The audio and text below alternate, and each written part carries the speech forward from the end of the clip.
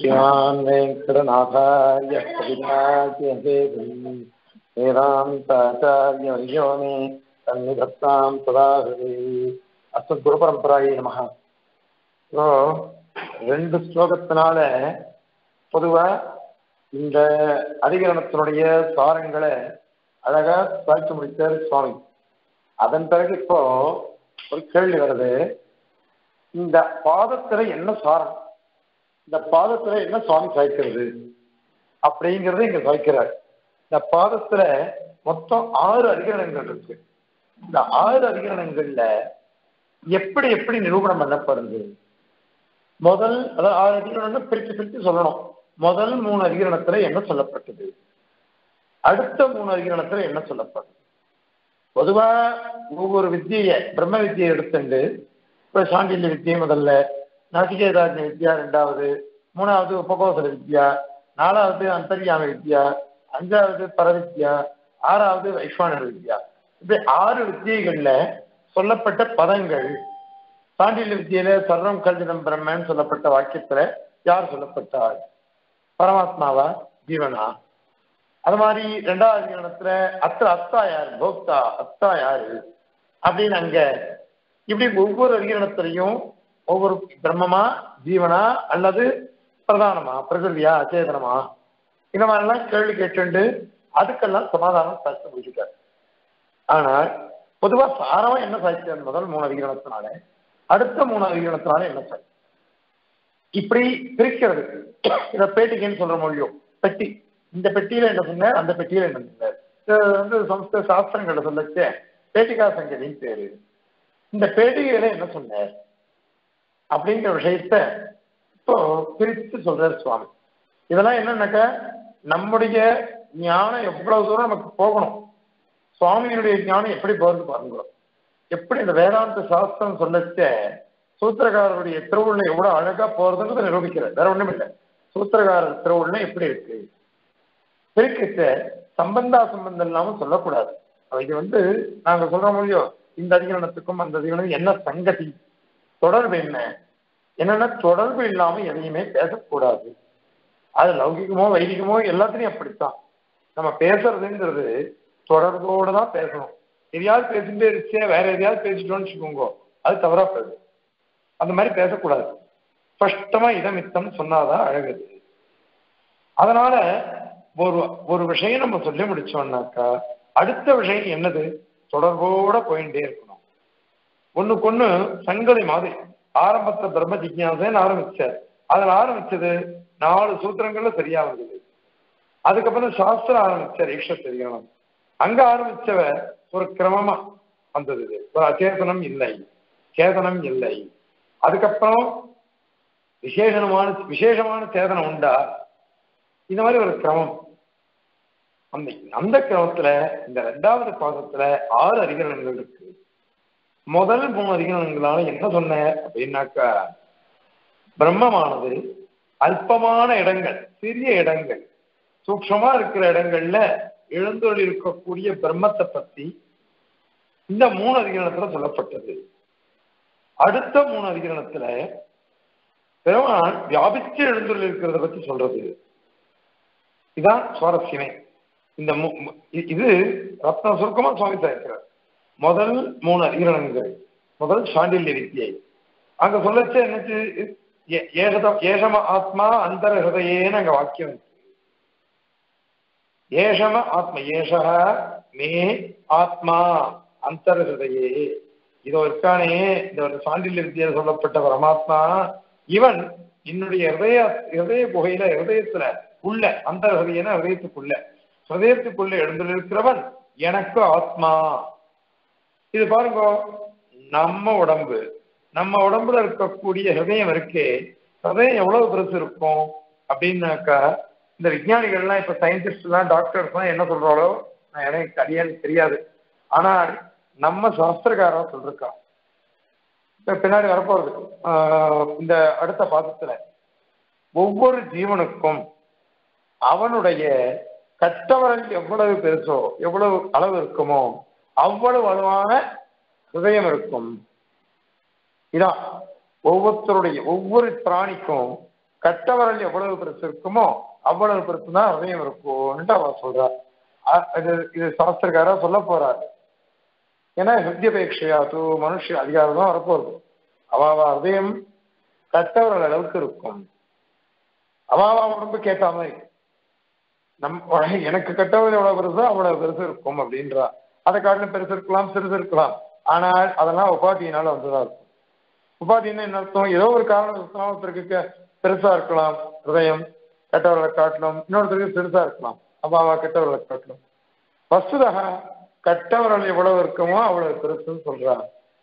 அந்த கட்டவர்களும் இருக்கக்கூடிய ஹதயம் அந்த ஹதயத்துக்குள்ள ஜீவன் உள்ள உட்கார்ந்துட்டு இருக்கான் அந்த ஜீவனுக்குள்ள இவன் உட்கார்ந்துட்டு இருக்கான் பரமாத்மா. அப்படியான கை எவ்வளவு சூக்ஷமா இருக்கான் அவன்.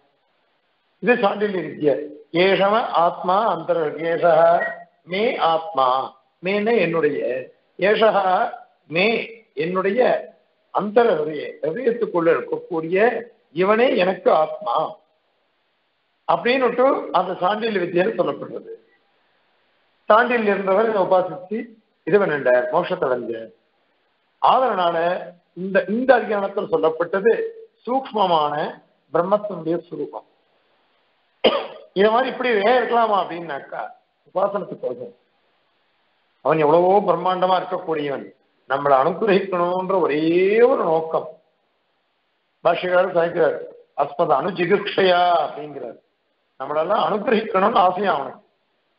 அதுக்கோசரம் அதை மாதிரி வென்றெடுத்தான் ஏகமே ஆத்மா அந்த ஏன்னுட்டு சாண்டில் இருக்கையில அந்த மாதிரி ரெண்டாவது என்னது?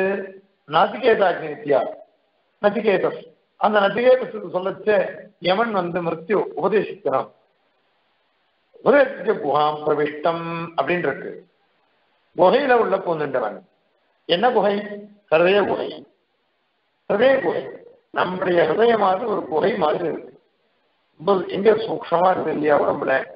நம்ம உடம்புலயே எத்தனையோ உறுப்புகள் இருக்கு. எத்தனை அவயவங்கள் இருந்தாலும் அதுல ஹிருதயங்கிறது ரொம்ப விசேஷமா இருக்கும். அந்த ஹிருதயத்துக்குள்ளதான் நாம இருக்கோம்.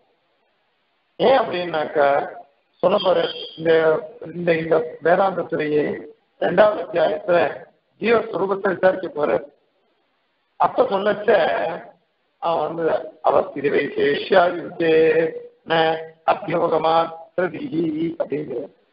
ஸ்ருதி சதயத்தில் அவன் இருக்கான். ஹதயத்துல தான் ஜீவன் இருக்கானா? அப்படின்னு உபனிஷம் சொல்லிட்டு போயிடும் அதனாலதான் நமக்கு வந்து எங்க அடிபட்டாலும் காப்பாற்றி விடலாம். ஹதயத்துல பட்டுச்சுன்னாக்கா ரொம்ப கஷ்டம். ஹதயம் தான் நமக்கு முக்கியம். ஏன்னா இந்த ஹதயத்துல தான் என்னுடைய ஆ- ஜீவனைகள்.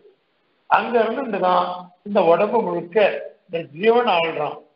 அந்த குகையில இருக்கக்கூடிய ஜீவன் உள்ள இருந்துதான் பரமாத்மா நம்மள ஆழ்ந்து அதனால குஹம் அது சூத்திரமே வந்தது பாருங்க. குஹாம் பிரவிஷ்டோ ஆத்மானோஹி சத்தர்சனாத் அப்படின்னுட்டு அந்த ரெண்டாவது அதிகரணம் அஸ்திர அதிகரணம். அந்த அதிகரணத்துல சொல்லப்பட்டது. இப்படி இந்த ஹதய குகையில இருக்கக்கூடியவன் இந்த ஜீவாத்மா அப்படின்னு இந்த ரெண்டாவது அதிகரணத்தையும் சொல்லப்பட்டது. பினக்கு முதல்ல சொன்னது அதுவும் ஹதய குகை. ஹதயத்துக்குள்ள இருக்கிறவன் சொல்லுச்சு. ரெண்டாவது சூத்திரத்தினாலையும் ரெண்டாவது அதிகரணத்திலையும் அந்த நாட்டிக ராஜ்யத்திலையும் சதய குகையில இருக்கக்கூடிய பரமாத்மாவை சொல்றது. அதனால இதுவும் சூக்ஷமானது. சூக்ஷமா இருக்கக்கூடிய பரமாத்மாவுடைய சுரூபத்தை இந்த மூணு அதிகரணங்களும் சொன்ன முதல் ரெண்டு அதிகரணம் ஆயிடுச்சு. இப்போ மூணாவது அதிகரணம் என்னது? அப்படின்னாக்கா உபகோதர வித்தி அந்தர உபகத்தே அப்படின்னு ஆரம்பிச்சு. உபகோதர வித்தி. உபகோதர வித்தியில என்னது? ஏ- ஏஷோ சக்ஷுஷி அத ஏஷோ சக்ஷுஷி புருஷோ திருஷ்யது கண்ணுல கண்ணுக்குள்ள யார் இருக்கானோ கண்ணுன்றது என்னது சின்ன ஒரு அவயம் மீதி ரெண்டு அதிகாரத்துல ஹதய குகை இப்பவும் கண்ணு இந்த சின்ன கண்ணு கண்ணுல இருக்கக்கூடிய விழி அந்த விழிதான் முக்கியமானது அந்த விழிக்குள்ள பெருமாள் வந்து எழுந்துள்ள இருக்கிறான் அப்படின்னு அங்க முடியாது அது எத்தனோண்டு அந்த இத்தனோண்டு கண்ணு அந்த கண்ணுக்குள்ள எம்பெருமான் எழுந்துள்ள இருக்கிறான் அப்படின்னு சொன்னாக்கா அது எவ்வளவு சேஷம் இதுவும் சூக்ஷமான அம்சம் தானே ஏன்னா அந்தரியாமி பிராமணன் சொல்லச்ச எஸ் சக்ஷுஷி திஷ்டன்னு அப்படின்னு வாக்கியம் இங்க உதாரிச்சிருக்கா. அதனால கண்ணுக்குள்ள எழுந்து இருக்கிறவன் பரமாத்மா. அப்படின்னு அங்க ஸ்தாபிச்சோம் அந்தர உபபத்தே அந்தரா அக்ஷந்தரா கண்ணுக்குள்ள இருக்கிறவன். அப்படின்னு வியாக்கியானம் பண்ண முடியும். அதனால இதுவும் சூக்மமான இந்த இவனை சொல்றது. பரமாத்மாவை. சூக்ஷமா இருக்கிறதுன்னா என்ன அர்த்தம்? அல்பமான சுரூபத்தை தனக்கு நமக்கோசம் குறிக்கின்றிருக்கான். குறிக்கின்றிருக்கான். அவன் வந்து அவன் எப்படி சுருக்கிக்கிறான் அவன் உடம்ப? அவனால உள்ள போக முடியுமான்னாக்கா அதுதான் பெருமாளுடைய இது. அந்த உள்ளக்குள்ள போக முடியும் முடியும்ன்றது வேற சார். அதை வந்து ஞாயிற்று சுவாமி சேர்க்கிறார் சுவாமி எனக்கு உள்ளுக்குள்ள போறதுன்னா என்ன அர்த்தம்? போறவன் அர்த்தம் இல்லை. அவன் நினைச்சானாக்கா உள்ள புரிந்துருவான் ஏன்னா அவன் சங்கல்பம் அப்படிப்பட்டது. அதுல யாராலையும் ஒன்றும் இது பண்ண முடியாது. அப்படின்னுட்டு அங்க சொல்லப்பட்டிருக்கு. அதனால அந்த உள்ள இது வந்து சூக்ஷமான சம்பிரதாய விஷயம். பெருமாள் உள்ளக்குள்ள போறவன் அப்படின்றது அந்த அந்த ஆத்மாவா இருக்கான் நமக்கெல்லாம் அப்படின்னு சொன்னோம்னாக்கா அணு. உள்ளே ஒண்ணும் இல்லை வெளில ஒண்ணும் இல்லை. அவ்வளவு சூக்ஷ்மம் அதுக்குள்ளேயும் உள்ள அவனால பிரவேசிக்க முடியும். அவன் திருவுள்ள அவன் சங்கல்பிச்சுட்டான்னாக்கா அவனால உள்ள போக முடியும். அது பரியந்தம் தான் அர்த்தம். அதை விட்டுட்டு அவன் வந்து உள்ள போய் உட்கார்ந்துருப்பான். அவனது அகரகிரண சாமர்த்தியம் அப்படின்லாம் ஏகதேசிகள் சொல்றார். அது தேசியன் திருவுள்ள வகுப்பு இல்லை. தேசியன் திருவுள்ள வகுப்பே கிடையாது அவனால உள்ள போகணும்னு ஆசைப்பட்டானாக்கா அவனால போக முடியும். அந்த சங்கல்பத்தை ஒன்றும் தடுக்க முடியாது. அப்படிங்கிறது தான் அர்த்தம். அதுதான் சம்பிரதாயமே. அதனால இந்த அந்தர்யாமித்தம்னா என்ன அர்த்தம் அப்படின்னாக்கா அவன் உள்ள போய் எதை எதை பண்ணணும்னு ஆசைப்படுறானோ அதை வெளில இருந்துட்டே கூட அவன் பண்ணிடுவான். இது வந்து நிறைய விசாரம் பண்ணிருக்கா கோழியானந்த சுவாமி இதுக்கு ஒரு புத்தகமே போட்டிருக்கார். பூர்ணத்தை விசாரம்னு அதை சாகித்ய அதாவது சொரூப சமாப்தி ஆயிடுமே அப்படின்னா கேள்வி வருது. மொத்தம் உள்ள போறான்னு வச்சுக்கோங்களேன். ஒரு ஜீவனுக்குள்ள உள்ள போகுதுண்டான்னாக்கா இன்னொரு ஜீவனுக்குள்ள அவனால எப்படி போக முடியும்? ஏன்னா இதுலயே முழுசா ஆயிட்டானே. அந்த அழுவா சுருசுக்கு ஒரு நாள் அடைய விஞ்ஞாபித்தேன் திருவுடைய பிராட்டி வந்து என்ன பண்ணா பெருமாளுடைய விஷஸ்தரத்துல உட்கார்ந்துட்டான் சதுர்முக பிரம்மாவோ நாபிக்க மடத்துல உட்கார்ந்து விட்டான் ருத்ரன் வந்து எனக்கு ஒரு இடம் கூட அப்படின்னு கேட்டான். நீ பின்னாடி உட்காந்துக்கோ அப்படின்னுட்டு பெருமாள். அப்போ நம்மாழ்வார் கேட்டார் அவளுக்கெல்லாம் ஒவ்வொரு இடம் கொடுத்தி எனக்கு ஒரு இடம் கொடுக்க மாட்டியா? அப்படின்னுட்டு. அதுக்கு பெருமாள் சொன்ன அவளுக்கெல்லாம் ஒரு அம்சத்தை தான் கொடுத்தேன். உனக்கு என்னையே கொடுத்துடுறனே. ஒருவிடம் ஒன்றின்றி என்னுள் புகுந்தானுக்கே அப்படிங்கிற அதாவது என்ன அப்படி பெருமான் நமக்கு அனுகிரகம் பண்றான் அவனுடைய சௌசீல்யமும் சௌலபியமும் ஔதாரியமும் அவ்வளவு வசதியா இருக்குன்றது திருவிழா ஆதரனால இங்க உள்ளுக்குள்ள போறதுன்றது இவ்வளவுதான். இது தேசியனுடைய திருவுள்ளம். அதை புரிஞ்சுக்கோங்க. அதனால இப்ப என்னாச்சு? மூணு அதிகரணங்கள். இந்த மூணு அதிகரணங்கள்லயும் சொல்லப்பட்ட விஷயம் என்னது அப்படின்னாக்கா ஹிருதய குகையில ஹிருதயத்துக்குள்ள இருக்கிறது. ஹிருதய குகைன்னு சொல்லி அதுல இருக்கிறது. கண்ணுக்குள்ள இருக்கிறது. இப்படி சூக்மமாக பெருமாள் எழுந்தொள்ளி இருக்கிறதுன்றது இந்த முதல் மூணு அதிகரணங்களால சாய்த்தார் சூத்திரகாரர் இப்ப இந்த கிரமத்தை பாருங்க. மூணு அதிகரணம் சொல்லி மூணு அதிகரணங்கள்ல சூக்ஷமான திருவேணி சுரூபம் அதோட இருக்க பெருமான். அதை தொடர்ந்து சாய்ச்சிட்டார். அதுக்கப்புறம் மீதி மூணு அதிகரணங்கள். அதுல சொல்லச்ச அந்தரியாமதிகரணம் உலகத்தில் இருக்கக்கூடிய அனைத்து வஸ்துக்கள் அவைகள் அனைத்துக்கும் அந்தரியாமையாக இருக்கக்கூடியவன். அப்படின்னாக்க வைஃபல்யம் சொல்லப்படுது. பெருமான் எல்லாத்துக்குள்ளேயும் பூந்துடுறான் இப்ப சொன்ன மாதிரி எல்லாத்துக்கும் அவனுடைய விபுத்துவம் இருக்கு அவனுடைய அகிருதிகரண சாமர்த்தியம் இருக்கு அவனுடைய அப்பதிகதமான சங்கல்பம் இருக்கு இவைகள் எல்லாம் ஒன்னா சேர்ந்துன்றதுனால எல்லாருக்கும் அந்தரியம அந்தரியவனம். உள்ளுக்குள்ள இருந்து ஜாமீன்னா நியமிக்கிறவன் அர்த்தம்.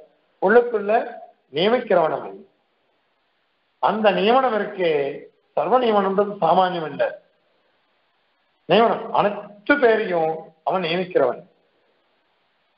இவ்வளவு வசதியானது இவருடைய நியமனம்ன்றது. அதை சாய்க்கிறேன் அதனால இப்படி அனைத்து உலகம் விபுலமா இருக்கக்கூடிய அனைத்து பிரம்மாண்ட பிரபஞ்சங்களிலேயும் பகவான் அந்தர்யாமியா இருக்கான் அப்படின்னாக்க அவனுடைய வைபவத்தை எப்படி சொல்றது? இப்போ ஒண்ணு அர்த்தம். அது சாதாரணமா மகத்துவம் இல்லை. அதான் பெரு பறந்து இருக்கிறது. அது இந்த அந்தர்யாம சொல்லப்பட்டது. அந்த ஸ்ரீபா ஸ்ரீவஸ்து தான் தெரியும். உலகத்திற்கு அனைத்து வஸ்துக்களையும் கோடிக்கிட்டு சொல்றது வருஷம் பிரதாரண்ய வருஷம் அத ஒரே ஒரு வாக்கியத்தினால ஆரம்பிக்க சொல்றது. அதேதோ அந்த பிரவிஷ்ட சாஸ்திரா நாம் சர்வ ஆத்மா அப்படிங்கிறது. சர்வாத்மா அந்த சர்வாத்மா அந்த பதத்தினால அனைத்து லோகத்து வஸ்துக்கள்லையும் இவன் அந்தராத்மாவா இருந்துருக்கான் எல்லாருக்கும் சாசிதாவா இருக்கான். எல்லாருக்கும் ஆத்மாவா இருக்கான். உள்ளுக்குள்ள இருக்கிறதுன்றது நம்ம உடம்புல நாம இருப்போம். அதனால நாம இந்த உடம்புக்கு ஆத்மா. அந்த மாதிரியாக இந்த பரமாத்மா இருக்கானே உலகத்திற்கு அனைத்து வஸ்துக்களுக்கும் ஆத்மாவா இருக்கிறது. இதுதான் அந்தர்யாமித்துவன்றது. ஏடத ஆத்மா அந்தர்யாமி அமிர்தா அப்படின்னு அங்க இருக்கு. இவன் தான் உனக்கு அந்தர்யாமி. இவனே அமிர்தன். இவனே ஆத்மா அப்படின்ட்டு உத்தாரகருக்கு யாஜ்யம் சொல்றேன் இதாவது தெரிஞ்சது. தெரிஞ்சது அவர் கேட்கிற எனக்கு நான் தெரிஞ்சிருந்தேன். அதனால நீ இப்ப சொல்லு. யார் அந்தரியாமி இந்த லோகத்துக்குலாம் அப்படின்னு அவர் கேட்கிறார். புத்தாளுகள் யாஜ்யம் வைக்கிறார் அதுக்கு யாஜ்யம் வைக்கிற பதில் சொல்றேன். அதனால அந்தரியாமதிகரணத்தினால சொல்லப்பட்டது. பொதுவா பார்த்தா உள்ளுக்குள்ள இருக்கிறது சூக்ஷம் தானு தோணலாம். ஆனா சூக்ஷமா பாருங்க. நீங்க பொதுவா அதாவது ஸ்தூலமா பார்த்தாக்க சூக்ஷம் மாதிரி தோணும். சூக்ஷமா பார்த்தாதான் பெருமானுடைய விபுத்தம் தெரியும். என்ன அப்படின்னா சூழமா பார்க்க எல்லாத்தையும் உள்ளதான பூந்துட்டு இருக்கான். அப்ப ஹிருதய குகையில இருக்கக்கூடிய ஜீவனுக்குள்ள இருக்கணும்னு அர்த்தம்.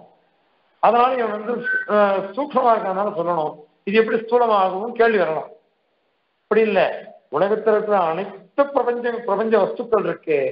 அந்த வஸ்துக்கள் எல்லாத்திலையும் உள்ள போறதுன்னாக்கா அது வைபுல்யம் தானே சொல்றது.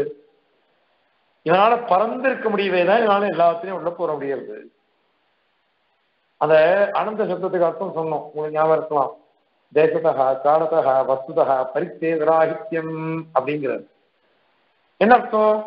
இந்த தேசத்துல பிரம்மம் இல்லை அப்படின்னு சொல்ல முடியாது. அந்த மாதிரி இந்த காலத்துல பிரம்மம் இல்லை அப்படின்னு சொல்ல முடியாது. இந்த வஸ்து பிரம்மம் இல்லைன்னு சொல்ல முடியாது. பாருங்க. இந்த வஸ்து பிரம்மம் இல்லை. தேசத்தக காலத்தக வஸ்துதக இந்த தேசத்துல பிரம்மம் இல்லைன்னு சொல்ல முடியாது. இந்த காலத்துல பிரம்மம் இல்லைன்னு சொல்ல முடியாது. இந்த வஸ்து ஒரு கடத்தை பார்க்கிறோம். இந்த கடம் பிரம்மமா இல்லையா? உண்டு. கடத்தடியிருக்கன் பரமாத்மா.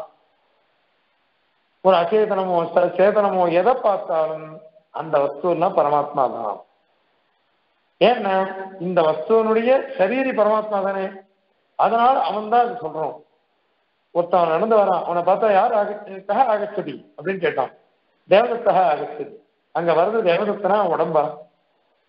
அவன் உடம்பு தானே நடந்து வருது? உள்ளுக்குள்ள இருக்கணும் நடத்தி வைக்கிறான். அந்த தேவதத்தன்றவன் நடக்க வைக்கிறான். அதனால இந்த உடம்பு நடந்து வருது. வசுதா தேவதத்தன் இருக்கிறது உள்ள ஆத்மா அந்த உடம்போடு நடந்து வரான்னு அர்த்தம். இப்ப அந்த உடம்புக்கு சொந்தக்காரன் அவன் தானே அதனாலதான் தேவதத்தன் சொல்றோம். தேவதத்த உடம்ப தேவதத்த சரீரி பரியந்தம் போ கொண்டு போற மொழியோ அந்த மாதிரி இந்த லோகத்தில் இருக்கிற அனைத்து வஸ்துக்கள்லையும் பிரம்மம் இருக்கு. அனைத்து வஸ்துவாகவுமே இந்த பிரம்மமானது பரிமளிக்கிறது பிரகாசிக்கிறது. அதனால நீங்க சூக்ஷமா பார்த்தீங்கன்னா இந்த பிரம்மமானது விபுவா எல்லா இடத்துலையும் வியாபிச்சிருக்கு இந்த அந்தரியாமத்தினுடைய சாரம்.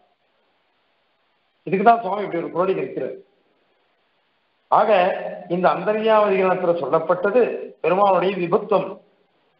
அதே மாதிரி அடுத்தது அதிர்ஷ்டத்துவாதி குணகாதிகரணம் இதுல சொல்லச்சு என்ன சாய்க்கிற?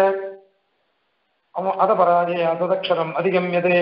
அப்படின்னு ஆரம்பிச்சுட்டு கடைசியில இந்த உடம்பு பெருமாளுக்கு எது? ரூப உபன்யாசாச்சம் கடைசி சூத்திரம். அந்த சூத்திரத்தை சாகிச்சு என்ன சொன்ன? உபன்யா ரூப உபன்யாசம் பண்ணப்படுறது உபன்யாசம்னா உபதேசிக்கப்படுறது. பெருமாளுக்கு சொர்க்கலோகமே தலையா இருக்கும் ஏற்கனவே வயசான வித்தியத்தை பார்த்துருக்கோம். இப்படி இந்த மாதிரி பெருமாளுடைய ரூபம் திருமையன் எப்படி இருக்கும் எப்படிலாம் வியாபிச்சிருப்பான்றத ஒரு உருவகப்படுத்தி நாம காம காமிக்கிறது. ஏன் அப்படின்னா நமக்கு ஸ்லோகம்லாம் சொல்லிட்டு இருக்கோம். சந்திர சூரியோஜனே அப்படின்லாம் சொல்றோம். இந்த ஸ்லோகம்லாம் சொல்றவங்க தவிர்த்து இந்த மாதிரி பெருமாள் இருக்கும்னு நமக்கு எப்படி தெரியும்? இப்ப உருவகப்படுத்தி பார்த்தோம்னாக்கா ஒரு சொர்க்கலோகம் ஒன்னு இருக்கு. ஏன்னா சர்வேஷு காத்திரேஷு சிரஸ் பிரதானம் உடம்புல தலைதான பிரதானமானது. இப்ப சிரசுன்றது என்னன்னா சொர்க்கலோகம். சுகம் சொர்க்கம் ஆனந்தம். அந்த ஆனந்தத்தை கொடுக்கறது இந்த ஜுலோகன்றது அது இவனுக்கு சிரசா இருக்கு. கண்கள் ஆதித்யனா இருக்கு. கண்ணு வெடிச்சு வெடிச்சு பார்க்கறது பிரகாசிக்கிறதுனாக்கா ஆதித்யன் பிரகாசிகனா இருக்கான். பிரகாசிக்கன் அனைத்தையும் பிரகாசிக்க வைக்கிறவன். லோகத்துல நம்ம பார்த்துட்டு இருக்கோம். சூரியன் உதிச்சாதான் அன்னைக்கு சுதினம்னு பேரு. சூரியன் அன்னைக்கு இல்லை தென்படவே இல்லைன்னா அது துர்தினம்னு பேராம். துர்தினம். அது வந்து இதுவே ஆகாது. லோகமே பிரகாசிக்காது அதனால எல்லாரும் கஷ்டப்படுவோம். அதாவது ஒரு பாபத்தினுடைய பலனை நம்மளால அனுபவிச்சிட முடியும். புண்ணியத்தினுடைய பலத்தை நம்மளால அனுபவிக்க முடியாது. ரொம்ப சந்தோஷம் வந்ததுன்னு வச்சுக்கோங்க. ஹார்ட் அட்டாக்கே வந்துடும் உடம்புல வலியை தாங்குற அளவுக்கு சுகத்தை தாங்க முடியல. நோக்கம் இது. அதான் புண்ணியத்தை தாங்குற இது பாபத்தை தாங்குற அளவுக்கு புண்ணியத்தை நம்மளால தாழ முடியாது. ஏன்னா நமக்கு வந்து மழை நல்லா பெஞ்சுதுன்னு வச்சுக்கோங்க. லோகம் சுருட்சமா இருக்கும். ஆனா நம்ம என்ன சொல்றோம்? மழை வந்து கெடுத்து தொழிச்சுட்டு அப்படின்னு வெய்யறோம் உண்மையிலேயே மழை பெஞ்சாதான் நம்மளால சுருட்சமா இருக்க முடியும். ஒரு பத்து நாள் நீங்கின்ற நாடெல்லாம் திங்கள் மும்மாறி பெய்து தீங்கின்றி. மழை பெய்யணுமா? ஒரு கஷ்டமும் வர வரக்கூடாது ஜனங்களுக்கு. ஒவ்வொரு நாட்டிலையும் எல்லா நாட்டிலையும் ஜலம் நன்னா பெய்யணும் மழை. வருஷிக்கணும். அது தீங்கு கொடுக்க கூடாது தீங்கு கொடுக்கவே கூடாது. கெடுதலையே கொடுக்க கூடாது அப்படி மழை இருந்ததுன்னாக்கா லோகம்லாம் சூக்ஷமா இருக்கும். ஆனா இந்த தேதிக்கு நம்ம மனுஷ தவறுகள்னால நிறைய தோஷங்கள் கஷ்டங்கள் தான் வருது மழை பெஞ்சதுன்னாக்கா ஆனா எந்த காலத்துலயும் மழை வந்ததுன்னாக்கா காரியம் கெட்டு போயிடுவது. காரியம் கெட்டு போயிடுது. இப்ப சுவாமிக்கு வந்து சப்பண்டீகரணம் நடக்கிறது கைங்கரியம். மழை படபடபடன்னு போட்டுட்டே இருக்குது. அது என்ன போய் குளத்துல போய் வேட்டிலாம் நடத்தி திருத்தாமணி கொண்டு வந்து வளர்த்தினோம். காலத்தால ஆறு ஆறு காலம் திருத்தாமணி வளர்த்திட்டோம். கோயில்ல ஒரு கொடி கட்டி. நன்னாவே வளரல ஏழு காத்து பட்டுச்சுன்னாக்கா சரியா போயிடும். ஆனா சோழல் போட்டுட்டே இருந்தது. காரணம் என்னன்னாக்கா காரியத்தை கெடுத்துரும் மழைன்றது. பரீட்சை பண்ணணும் நம்மள. எப்படி அவன் எங்க பண்றான் பார்க்கலாமே அதுலயும் நம்ம ஜெயிச்சு ரொம்ப பெரிய அனுகிரகம் ஆசிரியர் ஆச்சாரியாருடைய அனுகிரகம். அதுவும் நல்லபடியா நடக்கிறது அதனால இந்த மாதிரி நமக்கு சூரியன் இருக்கே உதிச்சதுன்னு வச்சுக்கோங்க. மழை பெஞ்சா கஷ்டம் வரும். சூரியன் கொஞ்சம் காஞ்சதுன்னா நிம்மதியா இருக்கும். அதனால அதெல்லாம் பிரகாசிக்கிறது. இப்படி பெருமாளுடைய அவயவங்கள் எல்லாம் எப்படி இருக்குன்னாக்க வியாபித்து இருக்கிறது. அதை நம்ம வந்து உருவகப்படுத்தி பார்க்கலாம். முன்னாடியே சொல்லிருக்கோம் பாருங்க. வந்து பெருமாள் நம்ம உபஸ்தானம் சந்தியாவனம் பண்ணிட்டு காயத்ரி ஜபம் பண்ணி உபஸ்தானம் பண்ணிட்டு வெறும் அப்படியே கை நம்ம வந்து அப்படியே சொல்லிட்டு போயிடுறோம். ஒத்துமே சிகரே தேவி கோமியாம்பரத சொல்லிட்டு போயிடுறோம்.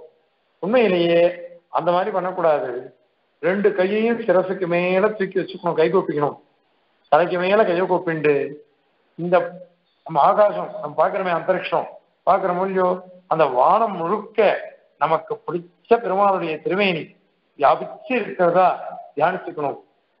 அது தேவப்பெருமானோ திருவேங்கமுடையானோ அல்லது இந்த மாதிரி சொல்ற உருவகப்படுத்தக்கூடிய பெருமாளுடைய இதுவோ விஸ்வரூபமோ அனைத்தையும் நம்ம தியானிச்சுக்கணும். அப்படி தியானிச்சுட்டு காயத்ரி உத்தானம் பண்ணணும். அப்படி பண்ணணும்னாக்க நமக்கு இதுவா இருக்கு. அதனால என்ன இப்போ பெருமாளை வந்து விஸ்வரூபத்தோட தியானிக்கணும். அந்த விஸ்வரூபத்தை சொல்றதுக்கோசரம் இந்த அதிர்ஷ்டத்வாதி குணகாரிகளும் வந்தது. அதே மாதிரியாகவே வைஸ்வான வந்தது. இந்த மாதிரி வைஸ்வான வித்தியில பெருமாள் பறந்து எழுந்துள்ளிருக்கிறதா அங்க சொல்றது. நேற்று வரையும் தெரிவிச்சிருக்கோம் பரமாத்மாவுடைய எப்படி எப்படி எல்லாம் இருக்கு? இந்த வைஸ்வான வித்தியில ஏன்னா தெரிவிச்சோம் இல்லையோ அவர் வந்து ஔபமன்யவர் சொல்ற வந்து சொர்க்கலோகத்தையே நான் விஸ்வார ஆத்மாவா நினைக்கிறேன். கிடையாது. அந்த விஸ்வார ஆத்மாவுக்கு சொர்க்கலோகன்றது தல மாத்திரம் அது மாதிரி ஆகாசம் சொல்ற ஜலம்னு சொல்ற பிருத்திவின்னு சொல்ற அதே மாதிரி வாயு அப்படி பிராண வாயு அப்படின்னு சொல்றாரு இந்த மாதிரி ஆ- ஆதித்யன். இது அத்தனையுமே என்னது? பரமாத்மாவுடைய ஒவ்வொரு அவயவங்கள். இதெல்லாம் ரூபிக்கப்படுறது ரூபகம். இப்படி எல்லாம் பண்ணப்படுறதுனால இது நிற்கிறது. இதுதான் இங்க சொல்லப்பட்டதாகுது அதனால என்னாச்சு? ஒவ்வொரு அவயவம் தனித்தனி அவயவமா பண்ணக்கூடாது உபாசனம். அதை பின்னாடி சாய்க்க போறாரு சுவாமி. பின்னாடி சுவாமின்னு தேசிகன் இல்ல. சூத்திரக்காரர் சொல்ல வந்து இது தலையை ஒண்டி அவர் அதாவது சொர்க்கலோகமான தலையை நான் பண்றேன்னு சொன்னார். உபமன்யவர் அந்த மாதிரி பிரிச்சு பிரிச்சு பண்ணக்கூடாது. ஒன்னா சேர்த்து தான் பண்ணணும் அப்படின்னு சித்தாந்தம் பண்ண போறாரு மூணாவது அத்தியாயத்தில். பிரிச்சு பிரிச்சு பண்ணக்கூடாது. ஏன் அப்படின்னாக்கா பெருமாளுடைய திருமேனிய நம்ம ஆபாத சூடம் நம்ம சேவிக்கணும் ஒழிஞ்சோ பிரிச்சு பிரிச்சு தலையை உண்டு ஒருத்தன் உபாசனம் பண்றான்னாக்கா நியாயமா இருக்குமா?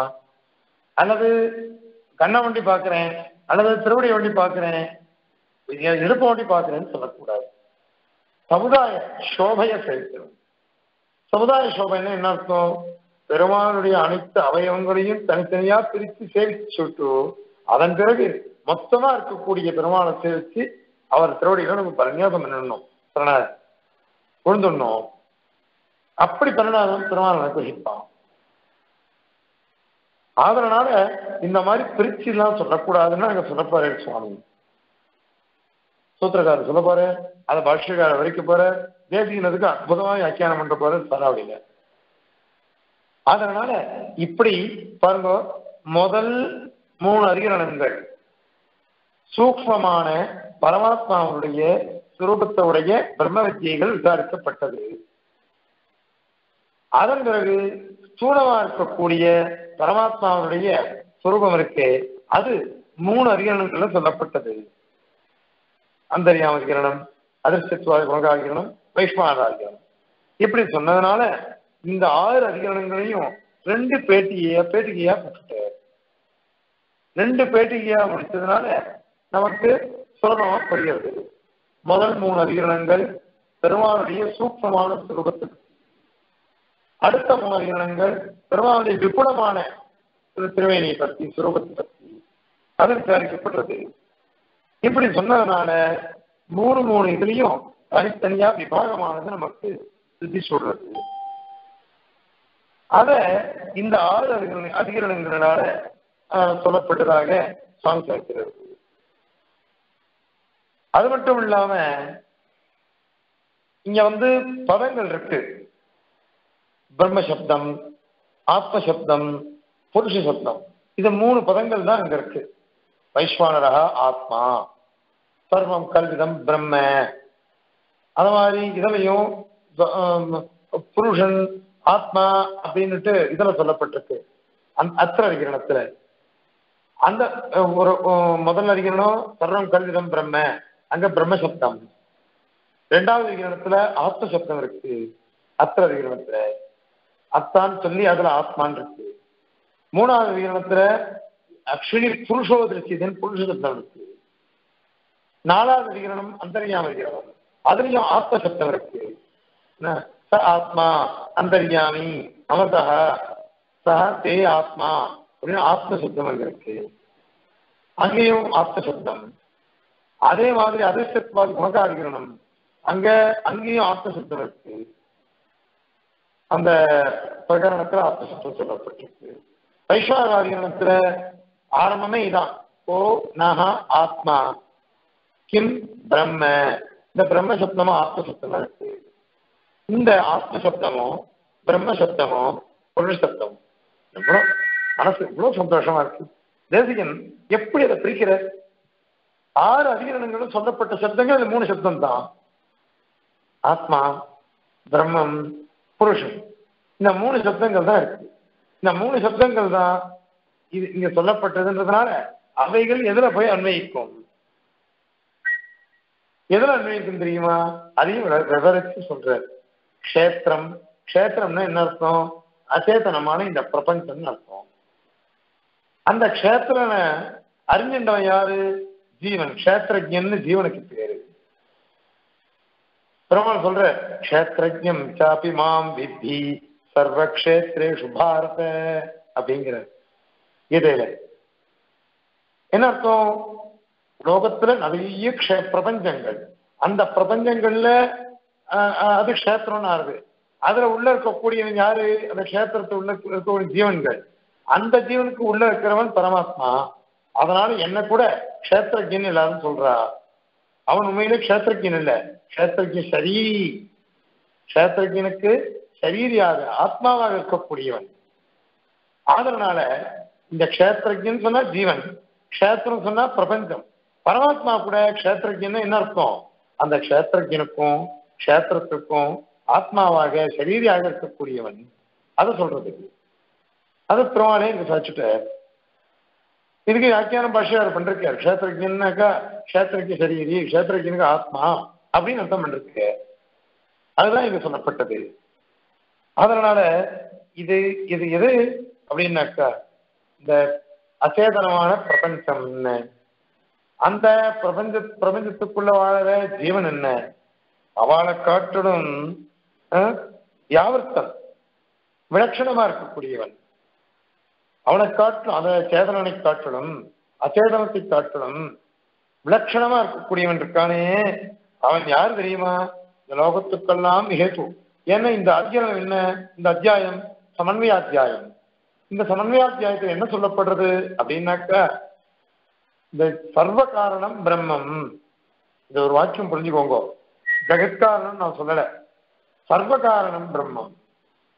சர்வ காரணம் பிரம்மன் ஏன் சொல்லணும் அப்படின்னா சில வித்தியைகள்ல இந்த ஜெகத்காரணத்தும் சொல்லப்பட்டிருக்காது. மோட்ச காரணம் சொல்லப்பட்டிருக்கு.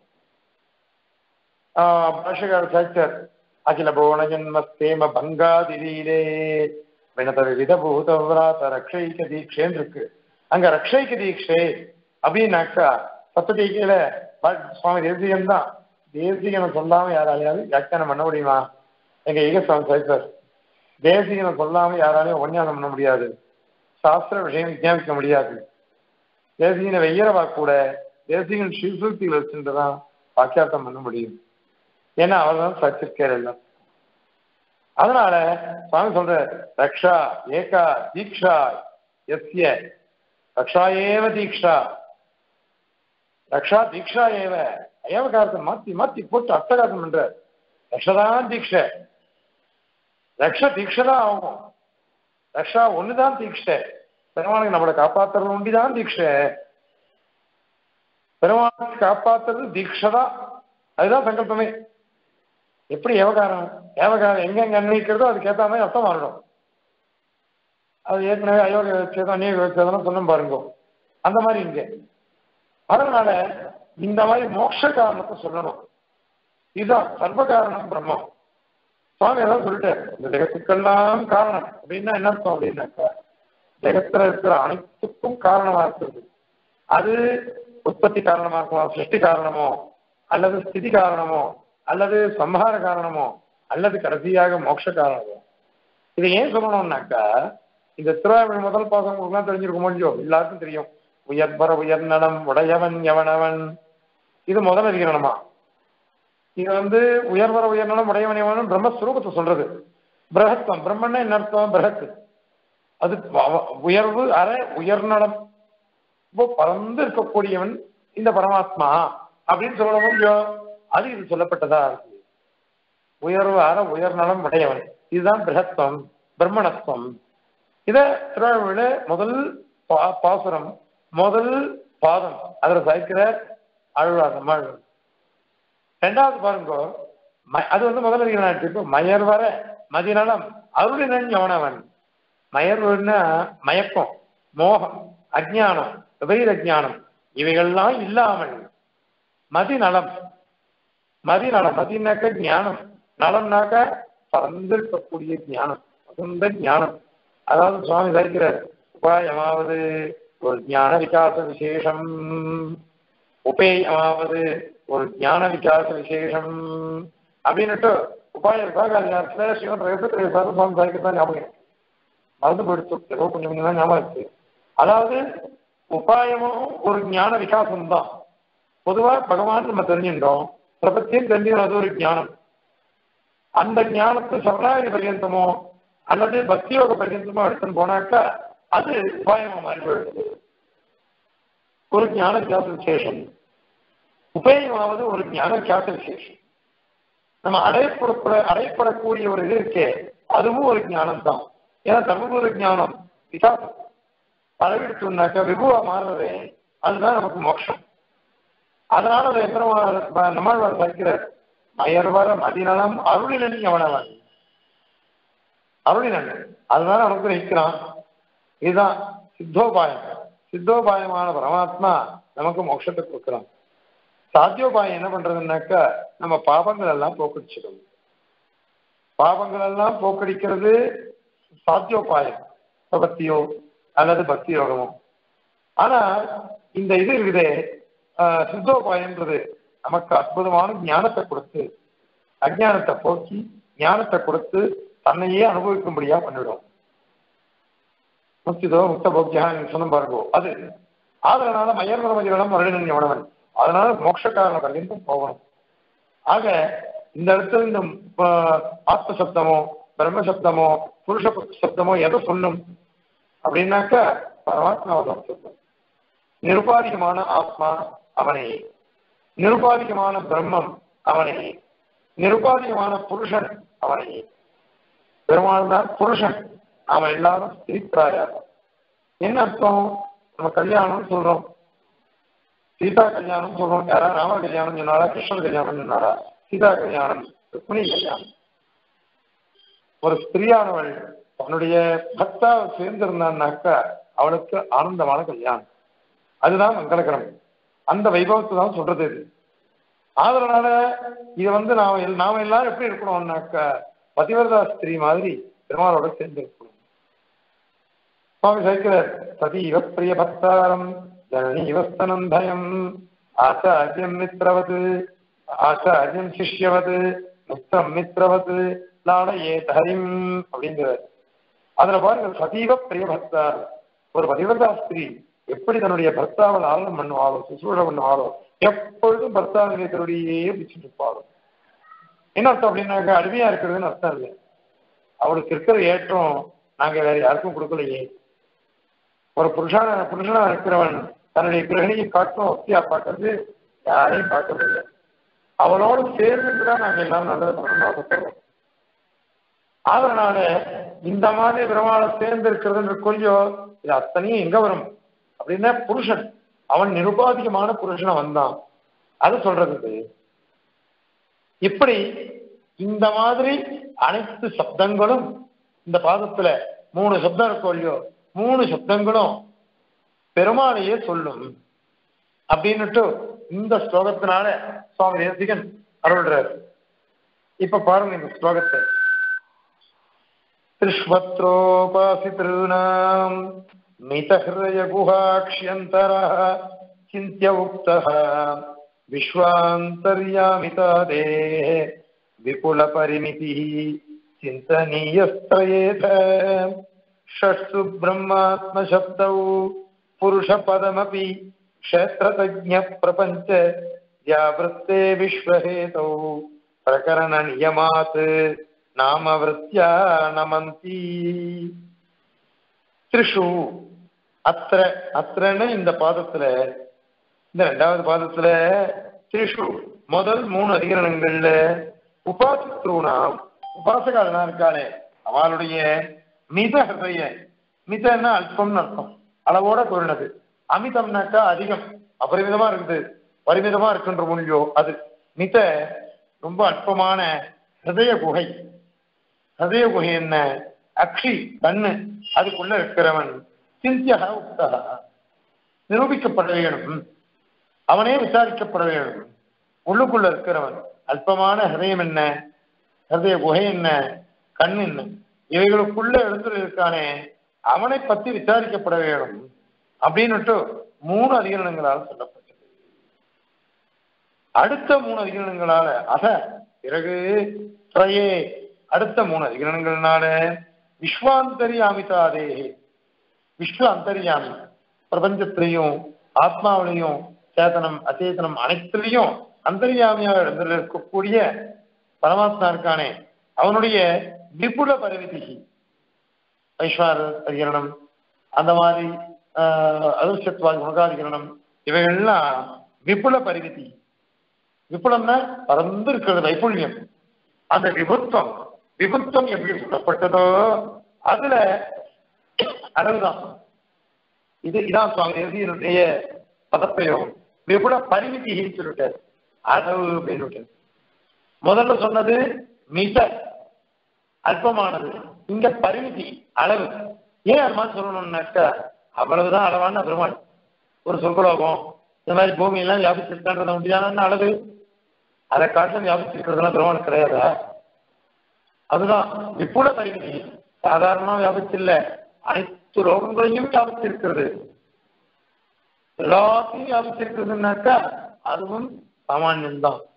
ஏன்னா அவன் ரொம்ப பிரம்மாண்டம் எவ்வளவு குளம் குளமா இருக்கானோ அவ்வளவுக்கு அவ்வளவு இந்த லோகம்னா சுருங்கிதான் இருக்கு. அப்படிப்பட்டவன் நமக்கோசரம் அது மாதிரி இருக்கான்னு அர்த்தம். விபுல பரிமிதி. பரிமிதம்னா என்ன அர்த்தம்? அளவுதான் அதுவும். அளவோட குறைவு தான் அப்ப சொல்லமானது அல்பமான அளவு.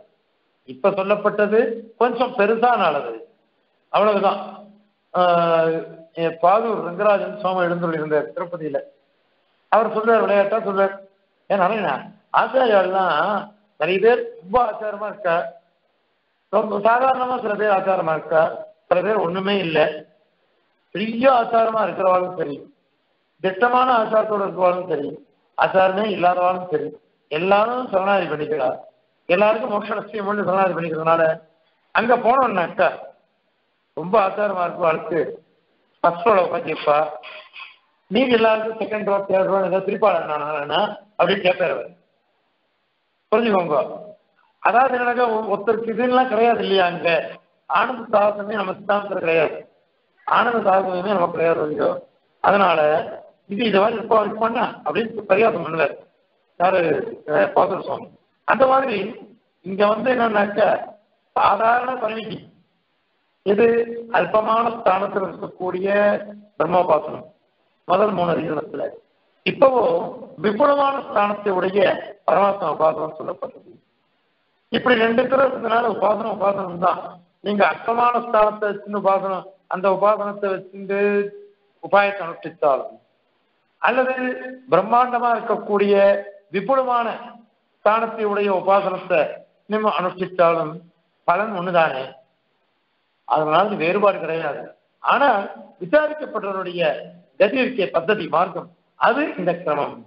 அப்படின்னு நிரூபிக்கிறதுக்கோசரம் அழகா இங்க சாதிக்கிறார் அது மட்டுமா? ஷட்சு.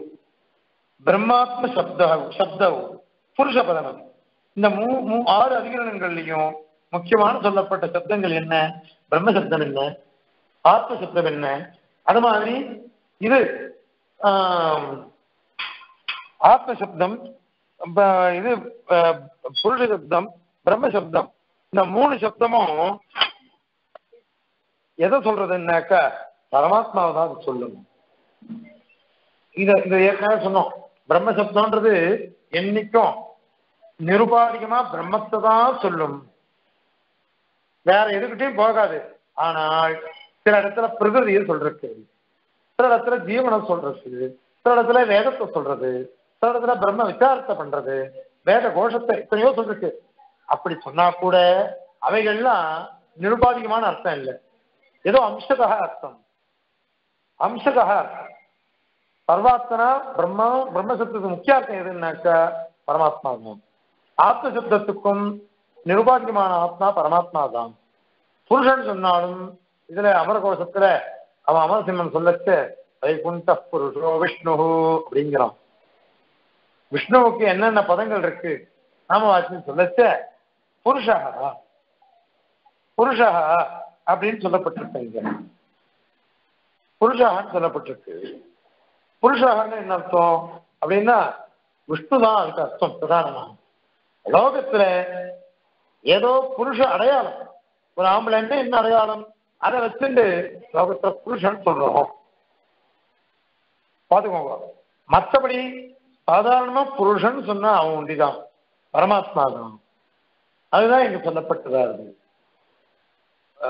வந்து இந்த உத்தம சுவாமி முக்கூர் ஒரு அழகான விஷயம் சாய்ச்சார் இது தெரிஞ்சுக்கணும். ஏற்கனவே சொல்லிருக்கணும்னு தெரியாது.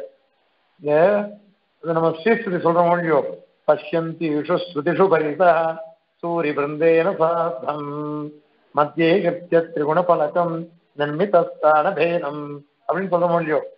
அது சொல்லச்ச அங்க வந்து முக்கூர் கேள்வி கேட்டார். இதுவோ யாரு இந்த பரமாத்மா பெருமாளும் பிராட்டியும் இது விளையாடிட்டு இருக்கா தாயக்கட்டான் விளையா தாயக்கட்டம் விளையாடிட்டு இருக்கா இந்த சொக்கட்டான் விளையாடுற சமயத்துல சுத்தூர யார் இருக்கா? அப்படின்னாக்கா ஸ்ருதிகள் பார்த்துட்டு இருக்கான் வேதங்கள். அதே மாதிரி ஏன் வேதங்களுக்கு என்னன்னாக்கா வேதம் சொல்றபடிதானே பெருமாள் சிருஷ்டிக்கிறார். அது ஒழுங்கா இருக்குதான் பார்த்துட்டு இருக்கிறான் அதே மாதிரி இந்த நித்திய சோரிகள் முக்தா எல்லாம் இருக்காளே. அவ எல்லாம் சேர்ந்துட்டு வேடிக்கை பார்த்துட்டு இருக்காளாம். வேடிக்கை பார்த்துட்டு இவா ரெண்டு பேரும் சொக்கத்தான் விளையாடிட்டு இருக்கா. சொக்கத்தான் விளையாடுற சமயத்துல விஸ்வாதீச பிரணயசதா பிரம்மத்யூத வர்த்தவ். பிரம்மே சாட்சியா தேவியோ அக்ஷதார்த்ததா விளையாடுறது பிரம்மா சதுர்முக பிரம்மா ருத்ரன் அந்த மாதிரி தேவதை தேவதைகள் எல்லாரும் நம்மள மாதிரி இருக்கோம்னா காய்களா மாதிரி இருக்கும். அவ எடுத்து எடுத்து எடுத்துட்டு இருக்கா. பெருமாள் நம்ம அத்தனை பேரையும் வெட்டி வெட்டி போட்டணும்னு பார்த்துட்டே இருக்கோம். பாவம் பண்றதுனால. பிராட்டியோ நம்மளை தப்பிக்க வச்சு நமக்கு பழமாக்கணும்னு பார்க்கிறார். இதெல்லாம் அதெல்லாம் இருக்கு. இதில் ஜெயிக்கிறது யாரு? பெருமாளா பிராட்டியா? இல்லையா? ரெண்டு பேரும் சேர்ந்து நம்மளை ஜெயிக்க வச்சுட்டா அழகா இருக்கு நம்மளை ஜெயிக்க வச்சுட்டா இதெல்லாம் இருக்கும் அபிஷேகம் உடனே ஒரு கேள்வி கேட்டார் இது ராஜாவும் யாரும் பேசாதீங்கம்மா ராஜாவும் ராணியும் எங்க விளையாடுவா? எங்க விளையாடுவா? அந்த புறத்துல விளையாடுவா. அந்த புறத்துல விளையாடினாக்கா அப்ப என்ன ஆகும்? ஒரு உள்ள வேற புருஷால் போக முடியாது. அங்க ராஜா போகலாம். ராஜகுமாரன் போகலாம். வேற யாரும் போக முடியாது.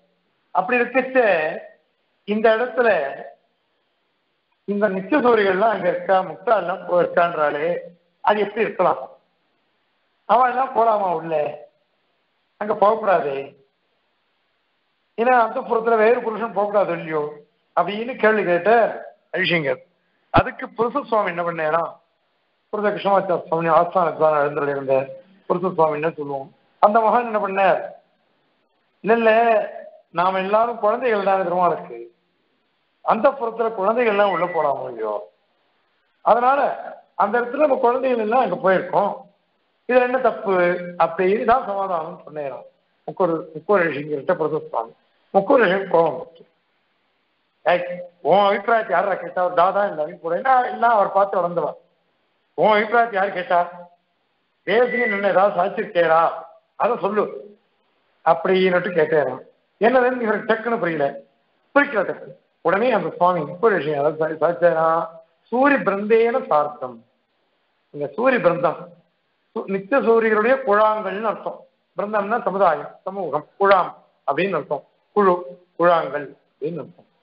அது பிருந்த சப்தம் இருக்கு இல்லையோ அந்த பிருந்தம்னாக்க நபும்சகலிங்கம் நபும்சகலிங்கம் அதாவது என்ன அர்த்தம்? ஆண்பால் இல்லை பெண்பால் இல்லை. பழவின்பால் பெண் பழவின்பாலா இருக்கிறது நபும்சகால் தானே. அந்த புறத்துல கூணர் குரலர் இவள் தான் அங்க இருக்கலாம். அவன் எல்லாம் அது மாதிரி நபும்சகால் இவெல்லாம் தான் அந்த புறத்துல இருக்க விடுவான் அந்த காலத்துல. பெருமாள் முன்னாடியும் பிராட்டி முன்னாடியும் நாம் அத்தனை பேரும் ஒரு நபும்சகால் மாதிரி தான் இருப்போம் புருஷனும் இல்லை ஸ்திரீயும் இல்லை. அந்த மாதிரி நாம் இருப்போம் அதனால புருஷன் அப்படின்னா அவன் தான் ஸ்திரீ அப்படின்னாக்கா அவதான். மற்றபடி மீதி எல்லாரும் எப்படிப்பட்டவா அப்படின்னா இது மாதிரி தான் புருஷனும் இல்லாமல் ஸ்திரீயும் இல்லாமல் பெருமாள் அனுபவிக்கவே பிறந்த சேஷத்தமே காஷ்டையாகவுடைய ஒரு சுரூபம் இருக்கே அதுதான் ஆத்மஸ்வரூபம். ஆக நாம புருஷாலும் இல்லை நாம ஸ்திரீகளும் இல்லை. நாம பெருமாளை அடைஞ்சி பெருமாள் அனுபவிக்கக்கூடிய தாசர்கள் மாத்திரமே. அதனாலதான் சுவாமி தேசியன் என்ன பண்ண பிரதான பிரதிசந்திர அதிகாரத்துல சேஷத்துவமானது சேவனருக்கு தாசத்துவ பரியந்தம் போகும்னு சேர்த்துக்க அதனால அந்த வழியா பார்த்துக்கணும். அதனால நீ பாருங்க யாவர்த்தே இந்த மாதிரி க்ஷேத்திர புருஷபதவி க்ஷேத்திரம் என்ன? பிரபஞ்சம் அதாவது அச்சேதனம் தஜ்ஞ அதை தெரிஞ்சின்றவன் ஜீவன். அந்த தெரிஞ்சின்ற க்ஷேத்திரம் தஜ்ஞன் க்ஷேத்திரஜன் சேதனா சேதனாத்மகமான பிரபஞ்சம். வியாவர்த்தே அவைகளுக்கு வியாவர்த்தம்னா விலட்சணம்னு அர்த்தம். அவன் அவ- அவைகளுக்கு இருக்கிற சுபாவம் பரமாத்மா கிடையாது. வியாவர்த்தே விஸ்வஹேதவு இந்த பிரபஞ்சத்துக்கெல்லாம் அனைத்து ஹேதுவாக இருக்கக்கூடியவன். விஸ்வம்னா அனைத்துன்னு அர்த்தம். அனைத்து காரணம் சொல்லலாம். அல்லது விஸ்வஹேதம்னாக்கா ஜெகத்காரணம் சொல்லலாம். இப்படி ஜெகத்காரணமா இருக்கக்கூடியது அனைத்து காரணமா இருக்கக்கூடியது அது எது அப்படின்னாக்கா பிரகரண நியமாத்து.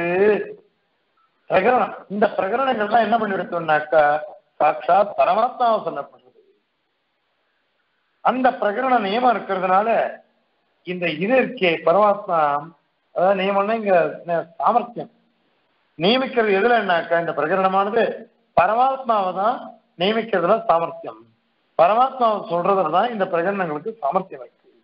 அதை நிறைய சொல்லிட்டோம். நித்தியம் விபும் அப்படின்லாம் இருக்கு. விபுவா இருக்கிறதுன்றது அவனாலதான் இருக்க முடியும். சர்வ விஸ்வரூபம் திரைலோக்கிய சரீரனா சரீரியா இருக்கிறது அவனாலதான் இருக்க முடியும். இதை நிறைய சொன்னோம். ம- மகாந்தம் விபுமாத்மானம் அந்த மாதிரிலாம் இருக்கு. அதனால இவைகள்லாம் பரமாத்மாவை சொல்றதுல தான் அந்த பிரகரணங்களுக்கெல்லாம் சாமர்த்தியம். அதனால அந்த சாமர்த்தியம் இருக்கிறதுனால நாம விற்பி. நாம விற்பின்னா என்ன அர்த்தம்? ரூடி. விபுன்னா பெருமாள் தான் புருஷன்னா பெருமாள் தான் ஆத்மான்னா பெருமாள் தான் ரூடியா. அதாவது காரண பெயர் இல்ல. இடுவிரி பெயர் அது. இடுவிரி பெயர்னாலேயே சாட்சாத்தா பெருமாளை சொல்லிவிடும் நமந்தி. நமந்தி அப்படின்னாக்கா இருக்கிறதுன்னு அர்த்தம். அதுலதான் இருக்கு. ரூடி சக்தியினாலதான் இவைகள்லாம் நிக்கிறது அப்படின்னு அர்த்தம். இங்க இந்த நமந்தின்னு இருக்கோ இல்லையோ அது வேற ஒரு பாடம் இருக்கான் அழிங்கர் சாய்க்கிறார் பதயோஜனையில. என்ன? நாமவிருத்தியா மனந்தி அப்படின்னு ஒரு பதம் இருக்கு. அப்போ நாமவிருத்தியா ஆமனந்தி அப்படின்னு ஆவணந்தி ஆமனந்தி அப்படின்னா என்ன அர்த்தம்? சொல்கிறார்கள். வேதம் சொல்றதுன்னு அர்த்தம் பண்ணிக்கலாம். அல்லது ஆமனந்தின்னு சொல்கிறார்கள். யார் சொல்றா அப்படின்னு? சுவாமி ஸ்ரீ சூத்திரகாரர் அல்லது எம்பெருமானார் தேசிகன் எல்லா ஆச்சாரியாலும் இந்த மாதிரி திருவள்ளப்படுறா ஆமணந்தின சொல்றான்னு அர்த்தம். அப்போ ரூடி சக்தியினால இந்த பரமாத்மாவை தான் இந்த சப்தங்கள்லாம் சொல்லும். அப்படின்னுட்டு இந்த பாஷை எம்பெருமானாரோ மற்றமுள்ள ஆச்சாரியர்களோ திருவள்ளப்படுறான்னுட்டு சுவாமி தேசிகன் நீங்க சாய்க்கிற. நமந்தின்னாக்க அந்த ரூடி சக்தியினால பரமாத்மா கிட்ட அர்த்தம் இருக்கு அப்படின்னு அர்த்தம் வரும். ஆமணந்தின்னு சொல்லிட்டோம்னாக்க பரமாத்மா பரமா இருக்குன்னுட்டு இந்த மாதிரி மகா ஆச்சாரியால் இருக்காளே நமக்கு. அந்த எபெருமானார் ஆச்சாரியாள்லாம் இப்படி திருவுள்ளப்படுறான்னு அர்த்தம். இப்படியாக இந்த பாசத்துல ஆறு அதிகரணங்கள் மூணு அதிகரணங்கள் அல்பஸ்தானமான உபாசனங்களை உடையது. அதில் இருக்கக்கூடிய பரமபுருஷன் விசாரிக்கப்படுகிறான். அடுத்த மூணு அதிகரணம் விபுலமான மகஸ்தானம். அந்த ஸ்தானத்தில் இருக்கக்கூடிய பரமாத்மாவை பற்றி விசாரிக்கப்படுறது அது மட்டும் இல்லாம இந்த ஆறு அதிக பிரகரணங்கள்லயும் ஆத்மசப்தம் பிரம்மசப்தம் புருஷ சப்தம்லாம் இருக்கு. அவைகள்லாம் ரூடியாகவே பரமாத்மாவை தெரிவிக்கும். அத ஆச்சாரியார் இந்த மாதிரி சொல்றான்னு ஒரு அர்த்தம் பண்ணிக்கலாம். அல்லது இந்த பிரகரணங்கள்லாம் இத மாதிரி சொல்றதுக்கோசரம் வந்திருக்கு. அப்படின்னுட்டு இந்த ஸ்லோகத்தினால இந்த பாதத்தில் இருக்கக்கூடிய ஆறு அதிகரணங்களுடைய சுரூபத்தை விவரித்து சாய்ச்சார் இப்ப பாருங்க. திருஷ்வத்ரோபாசிதॄணாம் மிதஹிருதய குஹாக்ஷ்யந்தரஸ்திந்தியமுக்தா விஸ்வாந்தரியாமிதாதே विपुलपरिमितिः चिन्तनीयस्त्रयेथ। षट्सु ब्रह्मात्मशब्दौ। पुरुषपदमपि क्षेत्रतज्ञप्रपञ्च व्यावृत्ते विश्वहेतौ। प्रकरणनियमान् नामवृत्त्या नमन्ति कल्याणगुणशालिने। श्रीमते वेङ्कटेशाय वेदान्तगुरवे नमः।